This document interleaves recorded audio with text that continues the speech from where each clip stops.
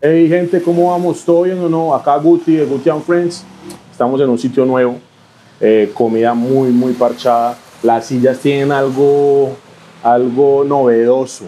Los nombres de todos los afroamericanos y uno que otro eh, ital, italiano, italoamericano, que ha pegado en Estados Unidos. Está chimba el sitio, los felicito. Estamos en OG, OG Burger, acá en Envigado, y en la otra sede que está más nueva, queda en el Mall La Visitación, para que vayan, consuman, le peguen a la hamburguesita, a las malteadas, bueno, ya saben, a todo lo que engorda.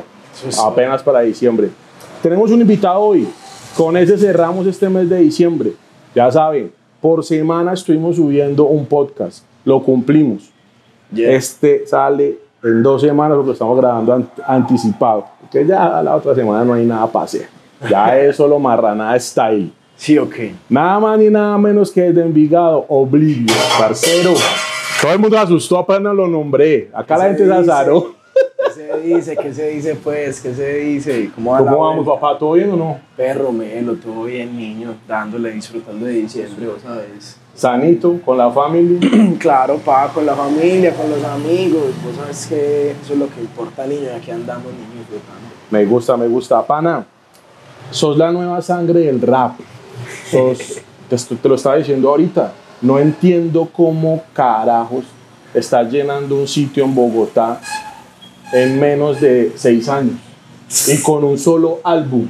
Uno solo. Tenés varios tracks afuera, pero un solo álbum. Sí. Eh, ¿Cuál es el secreto?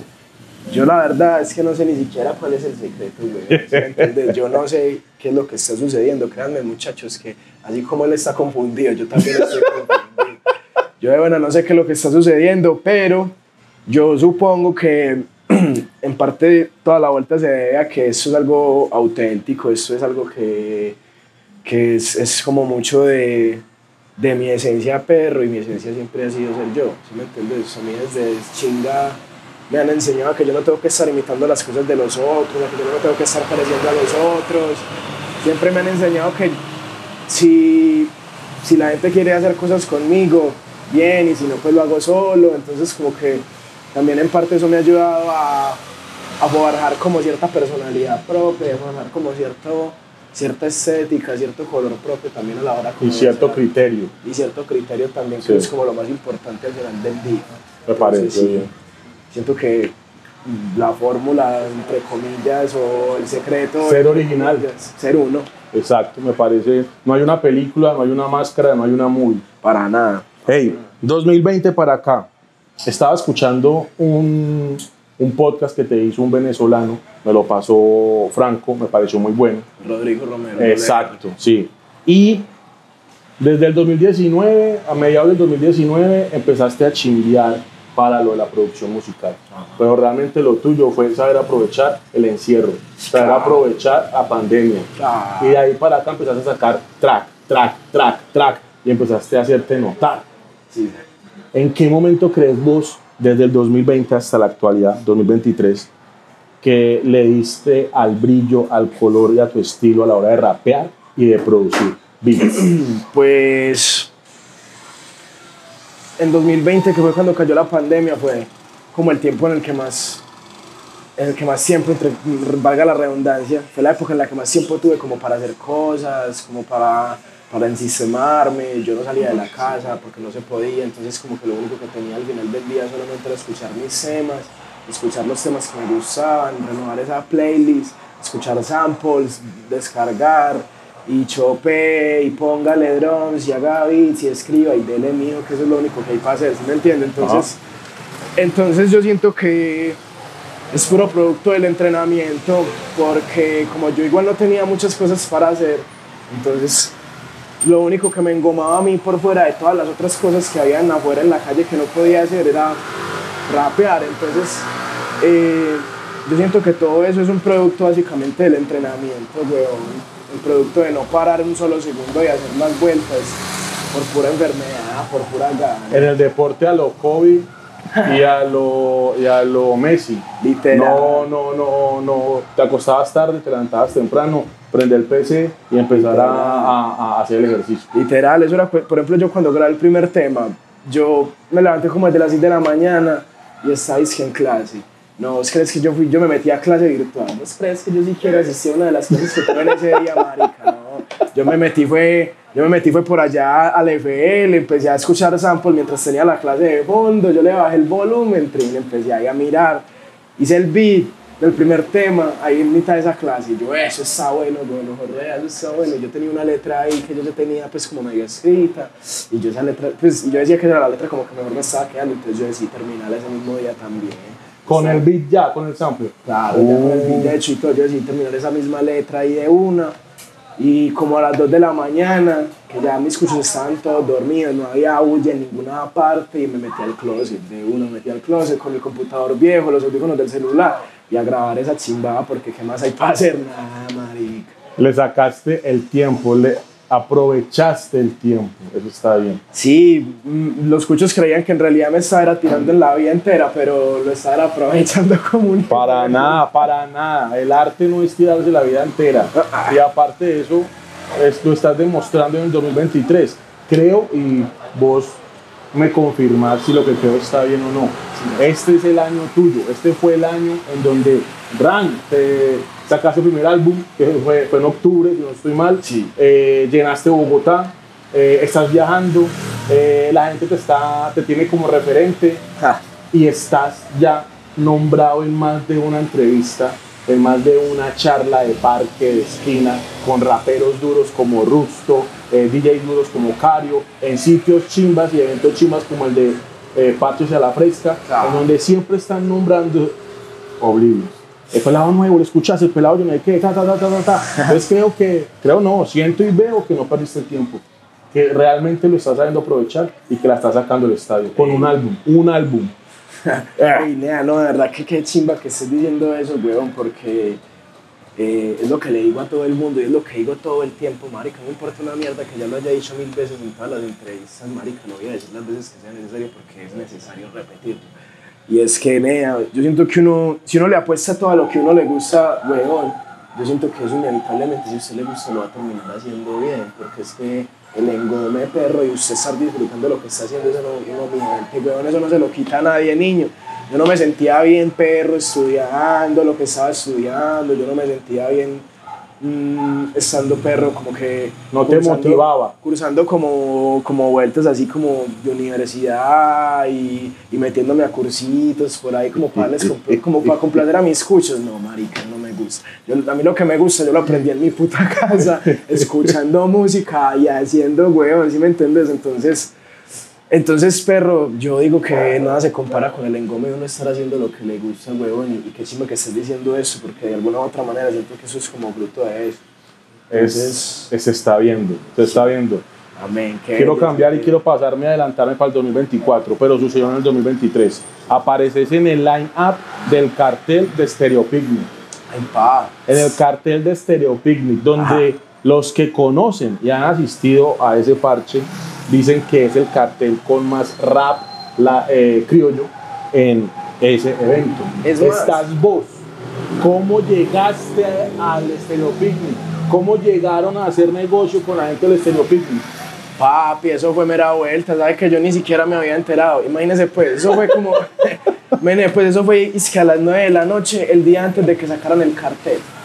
¿Pero y cómo? Nada, sino que es que mi, mi, mi parcerito tenía pues el Tian, mi manager, tenía como dos opciones y una de ellas era como el serio, entonces como que le escribió a la gente y como que no le respondieron, bre, normal, ya habíamos dicho como bueno ya, no, ese, ese no fue. Cuando entonces por allá como a las 11 de la noche le respondió, le respondió el de Páramo, marica, y dice, hey perro, no, qué pena manito, estaba como ocupado, estamos Lo de siempre. Estamos apenas cerrando cartel, que no sé qué. Eh, dígame papi, que le ofrezco eso. Entonces mi parcero llegó y dijo, bueno, papi, no, le ofrezco eso. Entonces después digo, yo solo tengo eso. Y ahí se hizo como la cuestión.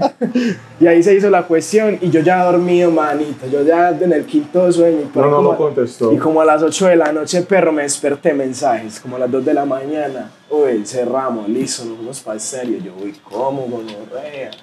¿Cómo? Este marica es un aragán. Eso fue una locura, eso fue una locura porque yo de verdad no me lo esperaba, perro. Y ahora después ver que sale ese cartel, es que el Invisky, es que el Link es que todas esas vueltas, yo, uy, marica. Pana, si usted no se lo esperaba, mucho menos la cultura del rap colombiano se lo esperaba. Sus fans no se esperaban que usted con un solo, perdón que sea tan empático con esto, con un solo álbum esté en el cartel del estereotipo. Vas a estar con los grandes. Vas a- es uno. En realidad son dos, son dos en realidad, pero este es el primero, el primero largo, el primero de larga El otro puede ser un duración. EP. El otro puede ser un EP porque dura, Sí. menos de, dura como menos de media hora. Entonces, Sí, no, es un álbum. ¿Tiene muchas canciones afuera? Sí. Pero álbum, álbum, álbum como tal, larga duración, es uno solo. sí. Pues yo le digo que es un álbum porque tiene 11 temas, pero en realidad dura menos de media hora, entonces como que O no sea es que álbum. primero con el Business Music, qué pena, pues acá tenemos varios. Con el Business Music uno no sabe realmente cómo lo van a catalogar, pero en las plataformas digitales ni siquiera sale como álbum. El único Sale álbum como que EP. sale, sale, sa- sale el de octubre. Entonces vuelvo e insisto, este pelado con 20 años, 20 años de edad, está joven y saca un álbum y pa que hacen un negocio de que yo tengo esto, no, pero yo pido esto, no, pero Tim, no, pero cámbiame el agua por champaña, pero champaña rosada, ta, ta, ta, pa que y le sale el, le sale el hijo de No. madre negocio a flor. Perro, felicitaciones, a todo el equipo de trabajo, felicitaciones. Ey, no, la Eso es buena, un nivel. Y aprovechen y lleven filmmakers y grábenla y dejen Envigado, Antioquia en lo más alto. Creo, creo que ya Envigado estuvo representado por Norrus Clan y la año. Este año estuvieron por allá ese. La Entonces, tiene la vara altica, mi niño, tiene que llegar y. trrrra. Y al final haga como, haga como en la película de NWA. Eh, ¿Cómo es que hace Ice Cube? Fuck the police, ahí viene toda la policía encima. No, mentira, mentira. Sisas, sisas, sisas. Ah, vamos a alborotarlos por allá, vamos. ya sabe. Aguanta. Perro, escuché, felicitaciones por esa vuelta y a todo el equipo de trabajo. No, escuché que sos fanático de los beats de Howard. Sí, Y claro. tenés 20 años. ¿Cómo y en qué momento empezaste a absorber, a comerte los raps, las líricas, el movimiento, el, el, el- el swag y los beats de los raperos de los 90? Perro, pues es que eso, a ver, como ya he dicho un par de veces, obviamente mi amor así, mi engome y, y mi enloquecimiento así por el rap fue porque yo empecé a escuchar la escena local. Y ahí, obviamente, el rap siempre se ha basado en las referencias y el rap siempre se ha basado en que, en que como tal yo hago tal, entonces obviamente ahí uno escucha eso y uno dice, hey, ¿quién es ese marico? ¿Sí o qué? Eh, ahí empecé pues yo también como ahí a escuchar como a como indagar como en, en- en la discografía más como de los 90, ¿sí ¿me entiendes? Empecé a escuchar más Biggie, empecé a escuchar las cosas no tan conocidas de Tupac, empecé Yeah. a escuchar las vueltas no tan conocidas como de, del Nas, de la Butang y todo eso, hasta que como por mi cuenta yo empecé a ver pues como, pues yo empecé también como en ¿sí ¿me entiendes? Entonces una vez yo estaba viendo una película que se llama Midnight, Sí. es dirigida por el Jonah Hill, y ahí eh, escuché The Far Side y yo como que, uff, qué chimba, porque The Far Side no es como de los grupos convencionales, perro. así No, ese sí es underground. ¿Sí me entendés? Entonces como yo escuché The Far Side y yo, uff, qué chimba, gonorrea, qué chimba The Far Side, y empecé a escuchar mucho The Far Side, y entonces me empezó ya como a, a interesar mucho como toda la movida del rap de los 90 por esos maricas, entonces empecé también a escuchar los Souls of Mischief, empecé a escuchar a mucha gente, huevón, y entre esos escuché Hell on Earth de, Ah. de, de Mobb Infam- Deep. Escuché on Earth de Mobb Deep y yo, uff, pero ¿qué es esto tan increíble, huevón? Porque sabes que me parece a mí, niño, que los beats de, de son muy simples, huevón. O sea, la estructura en sí, como que Boom bap y ya. si me entendés, son, es un sample, es unos drums, pero eso se escucha violento, niño, ¿sí me entendés? Es re simple, pero es violento, weón. Y yo de primeras como que yo escuché eso y yo, uff, ¿qué es esta candela tan hijo de puta? Después empecé a escuchar ya los más clásicos, después empecé, me, me escuché Infamous y, y ya dije como que, uy, marica, este piroja. Lo hace muy bien. Lo hace muy bien, lo hace muy bien. Y en parte yo siento que también es como inspiración ese marica, porque como te digo, weón, los beats de Hawk son la simpleza entre la simpleza, pero dentro de la simpleza todo tiene su complejidad. Y ese marica utilizaba el mismo sample, weón, pero lo chopeaba cuatro o cinco veces, perro, y hacía una melodía completamente distinta con el mismo chopeo, weón. Entonces como que también a mí me parece re brutal, niño, la manera que tenían esos maricas de hacer las cosas. Obviamente hoy, hoy en día uno la tiene mucho más fácil, weón. Pues, pues, todos los beats que yo hago son una tecla y ratón, marica. No, no, no, no, es muy diferente muy diferente entrar a un estudio de grabación hoy en día a entrar en el 95, 96, 97, sí, no, total. Obvio. Pero igual, la gente como vos tan joven se siguen basando de lo viejo. Samplers viejos, movimientos viejos, sonidos viejos, todo lo traen a la facilidad de la tecnología actual. Sí, porque es igual eso, en parte, pues, en parte esos maricas lo que hicieron ahí no fue solamente hacer música para la historia, sino que generaron cultura. Entonces, obviamente ya, si a uno le gusta esa vuelta, uno es inevitable uno tener que llegar a eso, güey. Crearon las bases. Exacto. Crearon las bases, sí. Exacto, esos maricas son las bases, por eso qué chimbas saber acerca de, de, de, de la manera que tenían esos maricas de hacer las cosas, weón, de cuenta de, de cuenta de todo eso, es que en este momento también mis sueños son, perro, con las vueltas, perro, que yo vaya consiguiendo com- comprarme como mis cosas, mis equipos y todo, porque, pues sí, me parece otra manera muy distinta, perro, como de, de hacer rap, me parece una manera, pues, me parece realmente como una creación, perro, así como manufactura, weón, ¿sí me entiendes? Hago un paréntesis. Todos los sonidos que escuchan de fondo, es que estamos en barrio, barrio. Estamos, es que la Magnolia. Es la Magnolia. La Magnolia en Envigado y obviamente pues para los que conocen saben que el sonido se cuela muy fácil, que la moto, que el que está vendiendo aguacate, en fin. Sí, Eh, hay algo que me llama mucho la atención de tus, de tus beats y de tus canciones. Eh, los samples que usan son, que usas son raros. Y a veces, como por ejemplo ese TikTok que se volvió tan famoso del... En Bogotá no se le dice nea, sino ñero. Del ñero rolo que, las, que la moto no la quiero para fletear y nada de eso. Sí, sí, sí, Esa es durísima. ¿Cómo me parece- sería? me parece muy, muy... Creo que ha, ha sido el único que la- le ha sacado jugo a eso. Pero y es y que- finalizar las, la- los, las canciones diciendo eh, Oblaño Gonorrea eh, o Medellín en la calle. Algo raro, o sea, no finaliza normal ningún track. ¿Por qué y de dónde sacaste ese, ese referente? Pues eso fue una locura que se te vino. Perro, pues yo siento que también una manera de tirar las pautas y el, y, el representar, pues también viene como en, esos comentarios, weón, ¿sí me entiendes? Yo siento que también la, la localidad se representa como en las referencias que uno hace a las cosas de acá. Entonces, perro, yo también, pues yo soy un pelado que creció con internet, weón, y cosas, y desde chinga yo siempre he visto videos colombianos virales, papi, que, lo ponen a uno botar caja como un hijo de puta diciendo huevón, ¿sí me entiende? Entonces eso también es como ya parte de la cultura colombiana para mí, huevón, entonces yo obviamente todas esas vueltas las tengo que incluir porque niño, o sea, son personas comunes y corrientes que dijeron, que dijeron una vuelta refina, niño, y se volvieron virales, manito, pero eso sigue siendo Colombia.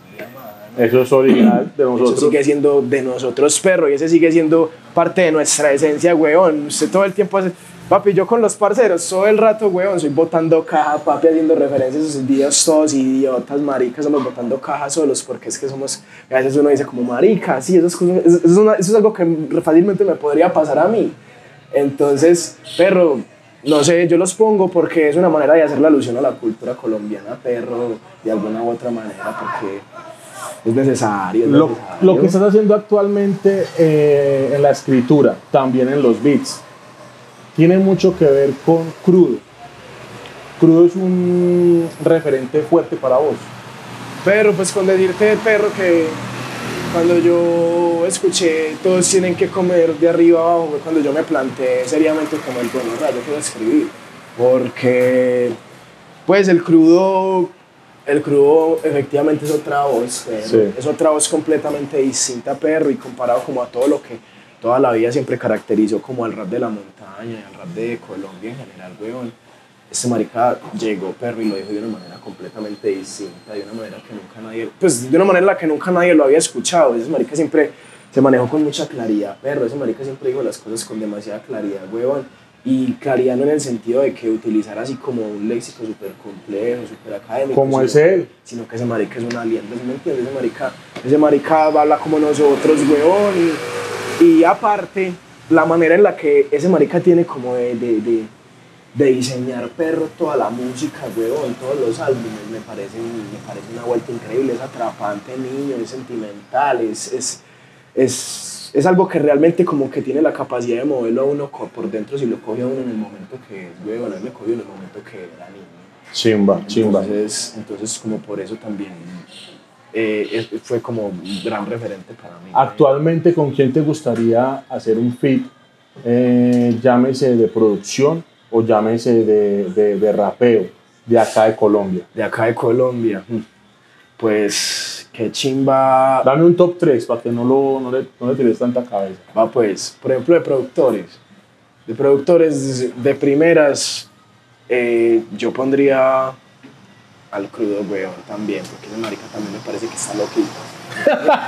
me parece que para producción ese marica está loquito, ese marica de Sí, verdad que... eso dice, yo no lo conozco al hombre. Pues ese marica me parece que está re loquito. A mí me contaron una vez que ese marica tenía un, un disco duro con 500 beats. De esos 500 beats, para un proyecto, curaba por ahí 400 y dejaba solo 100. Entonces después, como para empezar a escribir, para hacer temas, marica, de esos 100 cortaba por ahí 50 perros, 60 beats y Cada por ahí 40, 20, 20. dejaba por ahí 20 beats. Y esos 20, y a esos 20 les hacía temas. Y esos temas solo coge 10. ¿Sí ¿Me entendés? Pero mira que no es, no es locura porque en el, en el business music de los 90 las disqueras pedían eso. Eh, un álbum, un álbum trae 12, máximo 15 tracks y un bonus, 16 por mucho. Entonces grababan 60, 70 canciones y escogían 12. Entonces, bueno. creo que él estaba también actualizado y trayendo como las cosas como se manejaban en Estados Unidos en esa época es a la, a, a la vuelta de acá de Medellín. Porque ese marica es de allá también, ¿no? Ese marica, ese Creo marica que vivió muchos años allá. marica creo que vivió muchos años por allá en Nueva York. Sí, él es de Nueva York. Ok, Sí. diciendo, yo no lo conozco, pero su música, gracias a la gente de Envigado como Juano, Dani, todo ese combo, me, me, me inyectaron a las malas cada vez que me subía al carro de Juano eh, la música de Crudo, sobre todo Esmeralda, me parece un muy buen álbum. Gracias. Sí, es, y, es, y es que y ahí te pones a ver también y las referencias de ese marica, también el ser de por allá y todo. Pues niño, ese marica también lo mantiene demasiado clásico. Entonces, eh, eh, también en parte me atrapó mucho por eso, pero porque sonaba muy clásico. Sí. Hoy en día todavía Esmeralda sigue sonando fresco. Sigue sonando fresco. Como un hijo de puta. Sí. Como Bueno, ¿querés. ¿querés cambiar con Crudo? ¿Con quién más? Bueno, primera está crudo, segunda se le di mugre, weón. Me parece que ese marica, los beats que hace le di mugre es, es exagerado, perro, Chimba. exagerado. Ese Ese marica. man es de la Comuna 13. ¿Dónde es él? Ni idea, la verdad, de dónde sería Lady Mugre. Para mí ese marica es mero enigma, weón, pero yo solo le conozco los beats y ya con eso tengo suficiente. ¿Me entiendes? Como que que hueputas beats pa. Yo me voy a camallar con el Lady Mugre. El otro. Y de última, yo creo que Chimba, un beatcito de, del Spice. Yo no sé si has visto al, yo no sé si has visto al Spice, al DJ Spice. Eh, ese marica es el DJ de Peñair. ¿vos sabes quién es? Ah, ya, sí, pues ya el de Bogotá, el de Suba. No sé si has visto a, a un parcero que, que come como un vinil en TikTok. Es como un mancito que come un vinil y dice. Y llega. Ah, que está tatuado. Sí, sí, sí, Es decir, que pone música vieja y, y después el sampler y tal. Exacto. Ah, ese man es muy duro. Yo lo vi en una fiesta en Bogotá y mis respetos para la salsa. Mezcló salsa con hip hop, música vieja con hip hop. No, y le marica, pegó. ese marica para el sampleo está solo y, y, y, y me y pues y me han dicho que ese marica es también una máquina, papi, de, de hacer beats, ¿sí me entiendes? Como que hace y hace y hace y hace y hace y hace. Entonces me imagino que el entrenamiento que tiene ese marica también debe ser otra cosa. Marica toda la fórmula la tiene restandarizada, rechimba, entonces también por eso que chimba hacer un beat, con- pues Eh, hacer un tema con ese chimba. En el rap se manejan códigos. Llámese la persona que hace graffiti, llámese el que hace beats o rapea, llámese el que hace eh, ropa. Ah. Para que vos te metas a un estudio a hacer un fit, ¿cuáles son los códigos? Aparte de la vibra y la energía, ¿qué códigos deben haber? Pero pues yo siento que lo primero, lo primero, lo primero, eh, para yo meterme en un estudio a hacer, al- hacer algo con alguien, weón, o sea, que, que primero respete lo que yo hago, weón, porque de buena perro que hay gente muy, no sé qué les pasa en la cabeza, que piensan que entonces como que por el nombre o por porque son tal o lo que sea, vienen, le dicen a uno como, hey, qué chimba hacer algo, eh, va de una, después llegan y le salen a uno con la chingada y toda extraña, le salen a uno con reggaetón, le salen a uno con trap, con de todo, y uno es como que, manito, ¿qué me estás diciendo, weón? ¿Qué me estás mostrando, marico? Pues como que hay gente que, que, que espera que, a- que uno se le mida a todo, pero que no se le mida a nada, weón, diferente a lo que ellos hacen, ¿sí me entendés? Y, y es mera vuelta, porque entonces uno que es rapero, uno es todo radical con las vueltas, con el sonido, uno no quiere que le toquen a uno sus chimbadas, entonces como que el hecho de que alguien a mí me diga como que, hey, ¿qué? Nos vamos a montar en esta vuelta así como distinta, esto es más como, esto es más como popcito, más como estas cosas, ¿te gusta? encima que metas un rapeo ahí, no sé. O sea que vos sos de los, sos de los que. Voy a tocar el tema, igual no. Pero para vos, entonces, lo que hizo Fake con Mañas no sería algo de. Nea, pues es que. No lo sé, huevón. Me gusta el mundo Obviamente, arder, cada quien, ¿sí me entiende? Cada quien. Me estás preguntando por mí. Cada Sí, sí, quien. no, por vos, Pero por no, vos. por eso, pero por eso, cada quien, ¿sí me entiende? Pero, niño, pues yo no lo haría por el hecho de que yo no sé si vaya a salir bien, huevón, ¿sí me entiende? ¿Con quién harías un fit que no fuera Que rapero? no sea rapero. Sí. ¿Con quién haría un featuring que no sea rapero? Que vos te sientas cómodo para meterle el flow. Puede ser un vallenatero, puede ser un salsero, puede ser uno de banda, pues lo que sea, menos rapero. Papi, yo sinceramente yo creo que haría un tema. Yo creo que con. No sé, huevón. Me pusiste una pregunta muy dura ahí, pero. Déjame pensarlo. déjame pensarlo. Yo creo que yo haría un tema con. ¿Cómo es que se llama este marica de. Puta, ¿cómo es que se llama este marica? El de. ¿De qué? ¿Dónde es? ¿De acá? Es de acá, es de acá y canta música de diciembre. Eh, Icardi. No, con Icardi no. Música de diciembre. Eh, Los 50 de Joselito.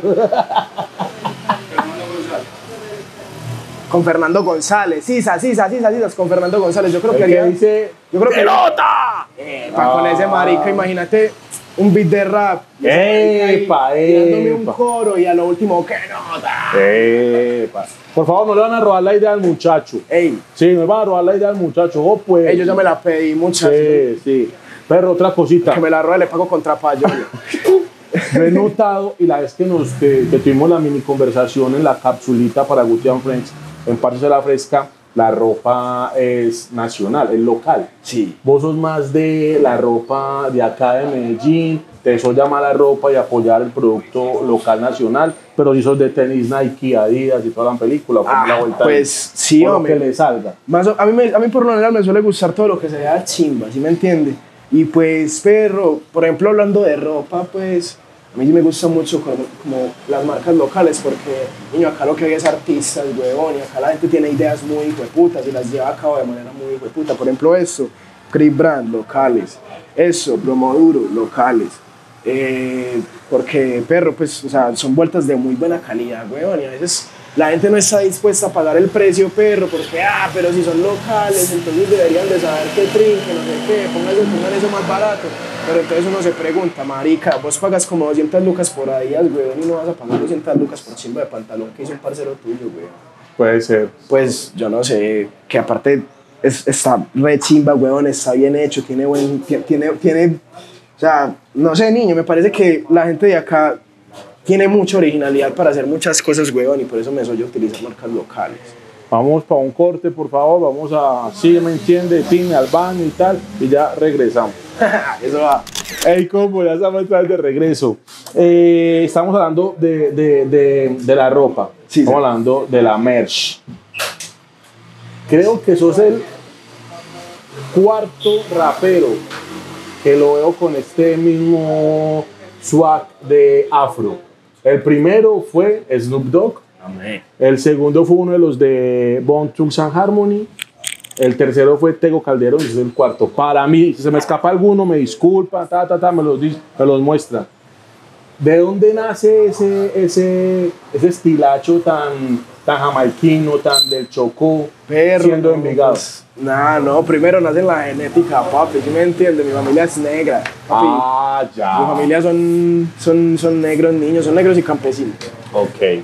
Entonces, eh, primero viene de la genética, weón, y, y- y también viene de que de una reivindicación perro conmigo mismo, weón, y en general perro en esta, en esta época, weón, mucha gente se está reivindicando con la identidad. Entonces, perro, yo durante mucho tiempo me lo escondía, weón, cuando ¿Sí? yo era pequeño, no me gustaban los crespos, yo me los escondía, yo me los, me los peinaba, que, que gomina, que todo, que para que no se me vieran los crespos, porque a uno le generan complejos desde pequeño, ¿no? Que ese pelo tan feo, parece un pichadero de moscos, que no sé qué hijo de putas. No más porque es crespo, marica, porque acá lo, lo, lo he aceptado toda la vida.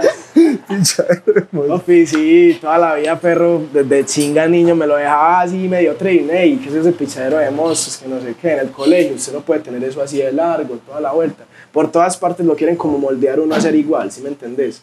Y también eso se le metió a uno en la cabeza, perro. Solo manejas el afro, también te haces las trencillas y toda la película. No, yo... Ah, y Bow Wow también los tenía. Ah, wow. Qué pena. No, yo siempre me he dejado el, el, el, el crespome, pero tengo ganas de empezar a hacerme más, más vuelticas, más trenzas y todo, porque me parece también muy estilero. Yo solo me he hecho trenzas una vez en la vida. Ok. Para acá en Gutiérrez Friends tenemos un, un top, pero como vos sos productor y a la vez sos eh, escritor, rapero, Sí, sa- entonces van a ser dos top. El primer top va a ser de productores, Sí, su top de productores. De Top productores. 5, no importa el orden, listo, los puedes disparar sin decir ese es el 1, ese es el 2, no, nada, los decís. De productores así de la historia. Sí, que, que a vos te solo. De primeras How. De primeras How, porque eh, nací de primeras el sonido perro que tiene How para hacer las vueltas fue el que más me cautivó, así a primera escucha. Bien. Mm, de segundas, yo quiero poner un productor de España que me parece demasiado hijo de puta, se llama J Moods. Ok, no lo he Eh, escuchado, es bueno. Es, ok. es, es muy bueno, perro. Pues en este momento ese marica es uno de los que está produciendo toda la nueva ola de rap en español, weón, y, y- y me parece una lagana el hijo de puta. ¿Cómo se le llama? J Moods. J Moods. J.Moods. Listo. Bueno. De terceras, el crudo, huevón, porque lo que te digo, niño, los beats de ese marica también me parecen increíbles. Yo el freestyle, papi, también, a pesar de que soy re malo para el freestyle, niño, yo entreno, yo desde chinga, niño, trataba de entrenar freestyle con los beats del crudo, huevón, entonces desde siempre como que me ha cautivado mucho el sonido del crudo. Breve. De, Cuarto. de cuartas, Madlib. Porque, papi, pues sí, me parece también que ese marica todo lo que hizo con los samples que escogía, perro, con, con ese sonido tan sucio, como tan desordenado que tenía ese marica para producir, me parecía demasiado hijo puta, el Es Madlib. muy bueno. El Madlib, papi, de los mejores. Y Quinto. De quinta se me. Bien. El Metal Fingers, perro, que... Bien, bien, es bien, clásico bien, bien, bien, de la chatarra, güey. Uno ya va entendiendo después de esta conversa por qué esa letra tan chino, por qué esa forma de rapear, por qué los, los, los, los samplers, el estilacho, todo. Y el top 5 de tus raperos pueden ser entre raperos y grupos favoritos. Entre raperos y grupos, ok. Yo creo que de primera yo pondría el Ghostface Killa. Wow. Marica me parece Aragán, pero como un hijo. Wow, Ghostface wow. Killah me parece que tiene, que tiene una crudeza, perro, que tiene una violencia a la hora de hablar las cosas muy puta. Primeras Ghostface Killa. De segundas yo creo que KCO. KCO de España. Sí, pues porque prácticamente fue como, por mucho, pues sí, por mucho tiempo ese marica fue el rapero español, si me entendés, el rapero español, Bien, KCO. de primera, de segundo, De segundo, KCO. de terceros, de Farside, porque son gran inspiración también como en, en- en- en letras, ¿sí me entendés? Desde, desde, desde también como primera escucha, yo escuchaba las letras, buscaba las lyrics y yo las leía, y esos maricas literalmente hablan de, de Es calles que de es el rap, ese es el rap. de parcharse por allá en las calles de California, todas esas vueltas, papi, que eso me gustaba como un hijo de puta porque yo me imaginaba a mis parceros perros en una calle de Medellín, niños, tomando pola, niños, escuchando esos mismos temas. Entonces, a mí me gusta mucho de Farside por la vibra que me inspira. De cuarto. De cuartos, yo creo que pondría a Ice Cube porque ese marica hizo, yo creo que la mejor, el mejor, el mejor diss track de la historia. ¿Cuál? No Vaseline. Me parece que, Dicen, que esa es la mejor. me parece que esa es la mejor. Dicen que esa es la mejor. La mejor de todos los tiempos es esa de Ice Cube. El mejor diss track para mí siempre va a ser No Vaseline porque ese marica incluso yo creo que lo dice perro en, en una entrevista como que papi, yo hice ese tema y después ¿qué pasó? Ya no hay grupo, ya no existe. ¿Sí me entiende? Entonces, entonces a mí me parece muy chima porque sí, prácticamente con ese tema los Los Y el quinto. Y de quintos, pero no menos importante, B7 de lunes. Que eso ya mucho Luis este lunes. Sí, saludos para After Class, para todo el combate. Sí, perro, mm, el 7 de lunes ni me parece también como el que tiene más estilo, huevón, y el que tiene más ingenio para rimar, perro, de estos lados, marica. Marica sí se le nota perro, pero así por encima que marica lo hace por puro deporte, como si estuviera jugando baloncesto, ese marica rapea, ¿sí me entiende? Bien. Entonces me parece, me parece muy chima porque ese chino también es como de los que más me inspira, perro, como a tomar el rap como un deporte, ¿sí me entiendes? A, Qué chimba. a, a- a esforzarme, perro, a sacar las skills, a, a, todo. El 7 de lunes. Pana, muchas gracias por haber aceptado la invitación, por tomarte el tiempo. Yo sé No, que ya estás en vacaciones. Modo chicharrón, modo familia, Ey, modo claro, amigos, claro, modo diciembre.